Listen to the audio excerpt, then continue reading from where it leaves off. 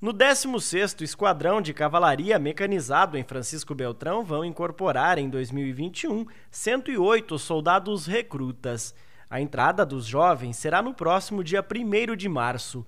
Já o prazo para o alistamento militar encerra no próximo dia 30 de junho. Todo cidadão que completar 18 anos né, em 2020 ele precisa se alistar do dia 1 de janeiro do ano até o dia 30 de junho, né, o primeiro semestre. O recruta que ingressa no Exército recebe um salário de R$ 1.130, além de assistência médica, alimentação e estadia durante 10 meses.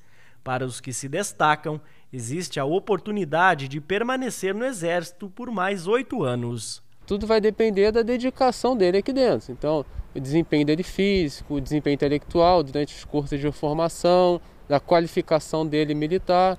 Então, é um apanhado geral de tudo que ele vai fazer durante o ano aqui é obrigatório. O alistamento pode ser feito nas juntas militares de cada município, mas há três anos, uma novidade. O alistamento está sendo feito também online, através do site alistamento.eb.mil.br. O jovem entra no site preenche um formulário e todo o processo acontece online.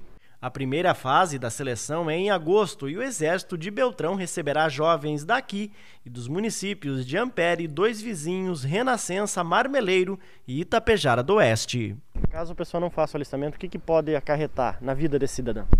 Então, esse cidadão ele tem dificuldade para tirar um passaporte, para conseguir um emprego. Né? Ele, na hora que for passar no concurso público, vai ser solicitado para ele né, o certificado, ele não vai ter certificado em mãos, porque ele está irregular com o serviço militar, né? Sem contar que ele inicialmente vai ter que pagar uma multa, né?